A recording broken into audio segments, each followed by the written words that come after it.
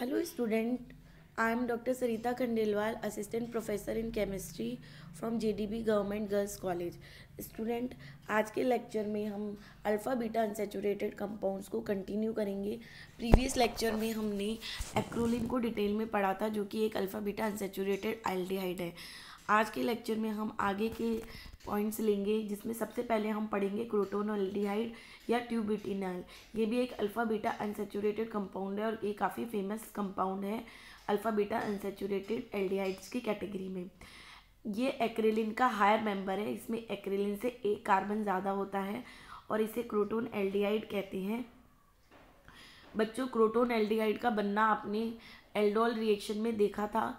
Aldol reaction में अगर दो एसिड एल्डिहाइड मॉलिक्यूल्स की एल्डोल रिएक्शन कराई जाती है और फाइनली डिहाइड्रेशन होकर हमें क्रोटोन एल्डिहाइड मिलता है। तो अगर आपसे पूछे कि क्रोटोन एल्डिहाइड आपने सबसे पहले कहाँ पढ़ा था? आपने एल्डिहाइड की एल्डोल कंडेंसेशन में पढ़ा था। ये एसिड एल्डिहाइड है, पहले इससे एल्डोल बना और फिर डिहाइड्रेशन से क्रोटोन एल्डिहाइड का निर्माण हुआ। तो ये हो गया आपका क्रोटोन एल्डिहाइड या ट्यूब्यूटेनॉल। वन टू थ्री फोर चार कार्बन है इसमें और सेकंड पोजीशन पे अनसेचुरेटेड बॉन्ड है तो इसे टू ब्यूटीनल भी कहा जाता है। चूँकि अभिक्रिया में एक वाटर मॉलिक्यूल निकल रहा है, अतः Z N C L two जैसे किसी, अगर हम डिहाइड्रेटिंग एजेंट ले लें तो रिएक्शन काफ़ी अच्छी होती है।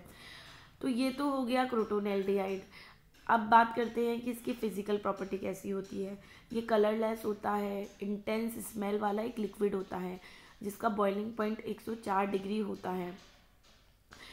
एल्कीन की तरह ये एक्रोलिन की तरह ये एल्किन और एल्डिहाइड की अभिक्रियाएँ देता है, जिनमें से कुछ रिएक्शंस जो हैं मेन रिड्यूसिंग रिएक्शंस है, उसको हम देखते हैं। एक्रोलिन का जब रेने निकल से रिडक्शन किया जाता है तो वन ब्यूटेनल ब्यूटेनॉल बनता है, जो कि एल एक एल्कोहल है तो जो रेने निकल होता है वो डबल बॉन्ड और सी एच ओ समूह दोनों का रिडक्शन कर रहा है। आप जैसा कि इस रिएक्शन में देख रहे हैं डबल बॉन्ड और सी एच ओ दोनों का रिडक्शन होकर वन ब्यूटेनॉल बन रहा है। अब क्लोरोफॉर्म और रेन, रेने निकल से कराया जाता है तो डबल बॉन्ड का तो रिडक्शन हो जाता है लेकिन एल्डिहाइड का रिडक्शन नहीं होता है और हमें ब्यूटर मिल जाता है। लिथियम एल्यूमिनियम हाइड्राइड लेते हैं तो उसमें क्या होता है डबल बॉन्ड का तो रिडक्शन नहीं होता सी एच ओ ग्रुप का रिडक्शन हो जाता है और but two en one ol मिल जाता है। तो ये तो थी रिड्यूसिंग रिएक्शन अब हम देखते हैं oxidation reduction reactions croton aldehyde के ऑक्सीडेशन से क्रोटोनिक अम्ल मिलता है। सी एच ओ समूह का ऑक्सीडेशन कार्बोक्सिली ग्रुप में हो जाता है। क्रोटोन एल्डिहाइड ज्योमेट्रिकल में भी प्रदर्शित करता है और सिस और ट्रांस रूप में पाया जाता है। इसे आप स्टीरियो केमिस्ट्री में बहुत अच्छे से समझेंगे। ये इसकी सिस फॉर्म है और ये ट्रांसफॉर्म है। बच्चों एच एच के आधार पे सिस फॉर्म और ट्रांसफॉर्म दी गई है। जब दोनों एच एक तरफ़ होते हैं तो उसे सिस कहा जाता है और जब दोनों अपोजिट डायरेक्शन में होते हैं तो उसे ट्रांस कहा जाता है। तो आपने देखा कि क्रोटोन एल्डिहाइड है, वो ज्योमेट्रिकल आइसोमरिज्म भी देता है। इसका यूज़ होता है वो सॉल्वेंट के रूप में और कीटनाशक दवाइयों के रूप में और एन ब्यूटाइल अल्कोहल बनाने में किया जाता है। तो ये तो बच्चों था क्रोटोन एल्डिहाइड अभी तक हमने दो अल्फ़ा बीटा अनसेचुरेटेड एल्डिहाइड के एग्ज़ाम्पल पढ़े। अब हम कीटोन के एग्ज़ाम्पल पढ़ेंगे, जिसमें हम पढ़ेंगे मिथाइल विनाइल कीटोन जिसे कि but three en two one भी कहा जाता है। ये सबसे लोएस्ट मेंबर है, सबसे सिंपल मेंबर है अनसेचुरेटेड कीटोन का। सबसे पहले इसको बनाया कैसे जाता है, हम देखते हैं फॉर्मेल्डिहाइड और एसीटोन इनका जब एल्डोन कंडेंसेशन कराया जाता है तो जो हमें प्रोडक्ट मिलता है, उसके डिहाइड्रेशन से हमें ये मिलता है। मिथाइल मिथाइल विनाइल कीटोन की प्राप्ति होती है। ये हो गया मिथाइल विनाइल कीटोन जो C H two double bond C H होता है, वो विनाइल ग्रुप होता है। इसीलिए इसे मिथाइल विनाइल कीटोन कहा जाता है। जिंक क्लोराइड अगर कैटलिस्ट की उपस्थिति ली जाए और इथाइलिन और एसिटिक एनहाइड्रेट की रिएक्शन कराई जाए तो भी हमें ये प्रोडक्ट मिलता है। मिथाइल विनाइल कीटोन बनाने के लिए एक और मेथड है, जिसमें एसिटिक एनहाइड्रेट की रिएक्शन विनाइल मैग्नीशियम ब्रोमाइड से कराई जाती है तो भी हमें विनाइल मिथाइल कीटोन की प्राप्ति होती है। चौथा मेथड इसका इंडस्ट्रियल मेथड है, जिसमें वाइन वाइनिल एसिटिलीन ये देखिए वाइनिल एसिटिलीन है, इसकी की रिएक्शन इसका जब डिहाइड्रेशन किया जाता है H two S O four H G S O four की प्रेजेंस में तो हमें मिथाइल विनाइल कीटोन मिलता है। ये रिएक्शन मैं आपको पहले भी बता चुकी हूँ। इसमें इस डबल बॉन्ड पर हाइड्रेशन हो जाता है जल के मॉलिक्यूल का एडिशन हो जाता है और मिथाइल विनाइल कीटोन की प्राप्ति होती है। तो ये तो हो गए इसको बनाने के चार मेथड अब हम देखते हैं प्रॉपर्टीज़ ये कलरलेस लिक्विड होता है, इसका boiling point seventy nine degree centigrade होता है। इसमें डबल बॉन्ड और कीटोनिक फंक्शनल ग्रुप होते हैं और ये इनकी रिएक्शन देता है। जब इस पर एच का एडिशन कराया जाता है तो एंटी मार्कोनिकोव की अकॉर्डिंग रिएक्शन होती है और हमें फोर ब्रोमो टू ब्यूटेनॉन मिलता है। बच्चों, मैं यहाँ डिटेल में नहीं जाऊँगी क्योंकि इन सबकी मैकेनिज़्म मैंने इनकी रिएक्शन में बता दी थी। आप उस मैकेनिज़्म के आधार पर प्रोडक्ट बनाने की कोशिश कीजिए। यहाँ पे मैं मैकेनिज़्म फिर से बता देती हूँ एक बार। सबसे पहले एच प्लस का केटोनिक ऑक्सीजन पे एडिशन होता है। यहाँ पे बॉन्ड ऐसे मूव करता है कार्बन पे पॉजिटिव चार्ज आ जाता है, फिर डबल बॉन्ड का कंजुगेशन होता है, इस वाले कार्बन पे पॉजिटिव चार्ज आ जाता है। बी आर जो होता है, वो इस वाले कार्बन से जुड़ जाएगा। ये हमें इनॉल रूप मिला। इसका कीटोफॉर्म फाइनल प्रोडक्ट के रूप में मिलता है। ये मैकेनिज्म मैं पहले भी डिस्कस कर चुकी हूँ। माइकल कंडेंसेशन ये जो केटोन्स होती है अल्फ़ा बीटा अनसेचुरेटेड केटोन इनकी काफ़ी इंपॉर्टेंट रिएक्शन है माइकल कंडेंसेशन और ये काफ़ी इंपॉर्टेंट नेम रिएक्शन है और काफ़ी बार कंपटिटिव एग्ज़ाम्स में भी पूछी जाती है और आपके थ्योरी एग्ज़ाम्स में भी इसकी रिएक्शन के पूछने के चांसेस काफ़ी होते हैं।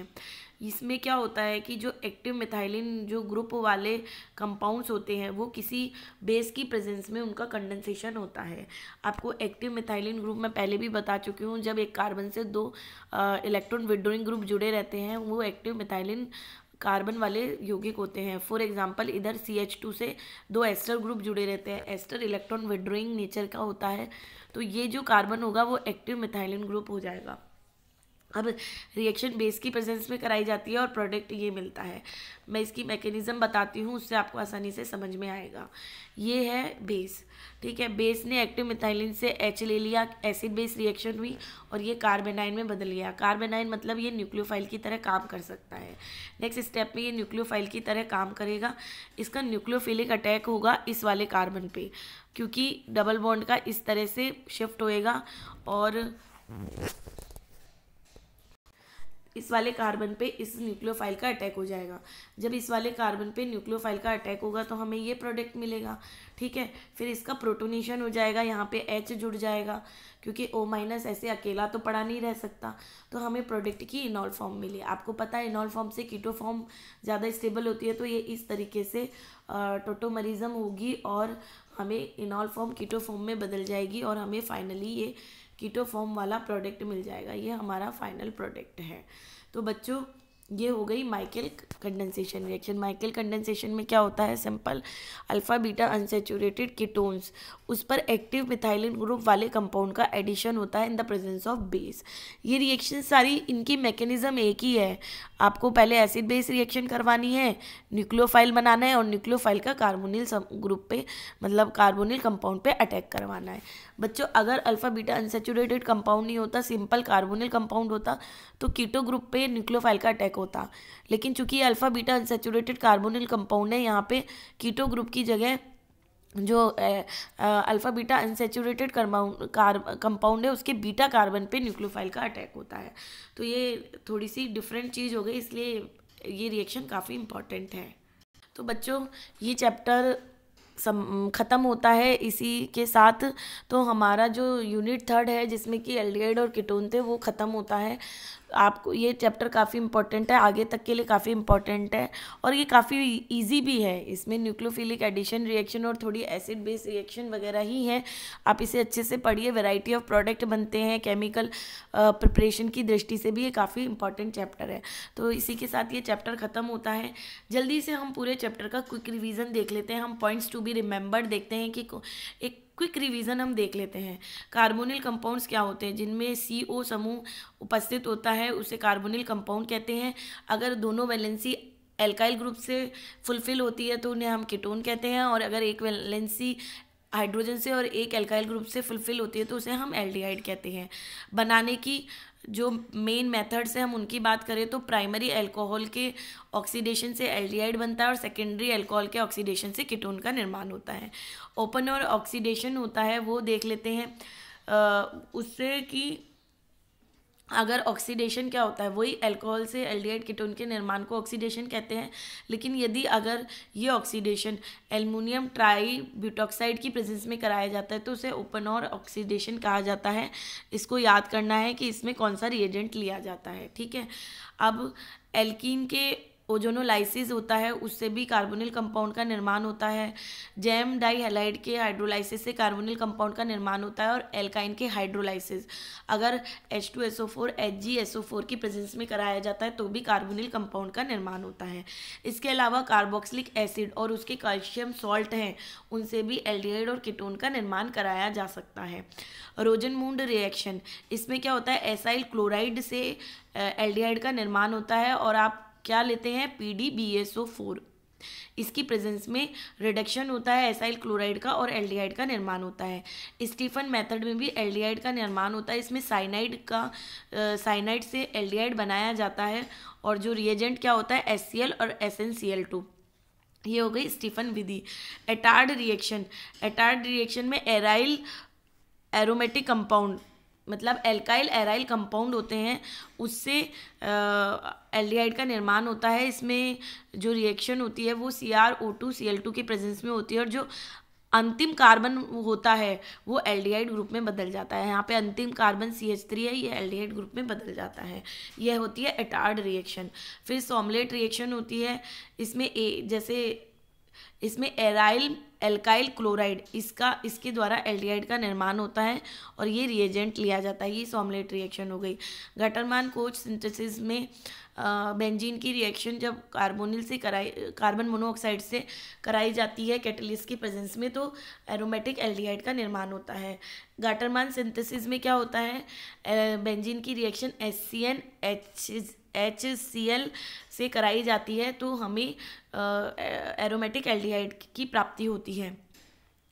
इसी तरह कीटोन बनाने की एक विधि है जिसमें कीटोन और एल्डिहाइड बनाने की एक विधि है, जिसमें डाइथाइन के द्वारा कीटोन और एल्डिहाइड का निर्माण किया जाता है। आप देख रहे हैं रिएजेंट क्या ले सकते हैं?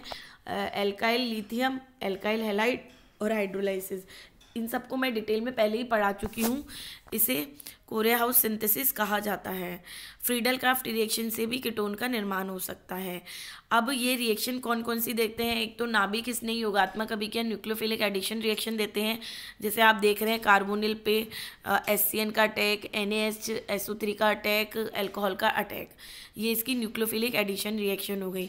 फिर कंडेंसेशन रिएक्शन की बात करूँ तो बेंजॉइन कंडेंसेशन एल्डोल कंडेंसेशन है परकिन रिएक्शन है नोवेंजल रिएक्शन है बेंजॉइन कंडेंसेशन में एल्डिहाइड का कंडेंसेशन होता है के की प्रेजेंस में एल्डोल कंडेंसेशन से कोई भी एल्डिहाइड और कीटून दे सकते हैं, जिनके पास अल्फ़ा हाइड्रोजन प्रेजेंट है। परकिन रिएक्शन में बेंजल्डिहाइड और एसिटिक एनहाइड्राइड का कंडेंसेशन होता है। एसिटिक सोडियम एसिटेट की प्रेजेंस में नोवेंजल रिएक्शन होती है। इसके बाद इसकी एडिशन रिएक्शन होती है अमोनिया डेरिवेटिव से। आप देख रहे हैं वेरियस अमोनिया डेरिवेटिव से रिएक्शन होती है। शिव बेस का निर्माण होता है, ये शिव बेस का निर्माण हो रहा है। ठीक है? ये सब एडिशन रिएक्शन है वेराइटी ऑफ़ एडिशन रिएक्शन है। फिर विटिंग रिएक्शन देखी थी हमने मैनिक रिएक्शन देखी थी पॉलीमराइजेशन रिएक्शन देखी थी क्लेजन कंडेंसेशन देखा था, जिसमें एस्टर का कंडेंसेशन होता है। क्लेजन शिमिट रिएक्शन देखी थी, जिनमें एल्डिहाइड का कंडेंसेशन होता है। रिफ्रोमेटेस की रिएक्शन देखी थी, जिसमें कि halo ester, halo halogen ester का एडिशन होता है कार्बोनिल कंपाउंड पे। टिशंको रिएक्शन देखी थी, जिसमें दो एल्डिहाइड का कंडेंसेशन होता है और एस्टर बनता है। हेलोफॉर्म रिएक्शन देखी थी और हमने देखी थी कि किस तरह के मॉलिक्यूल्स ही हेलोफॉर्म रिएक्शन देते हैं।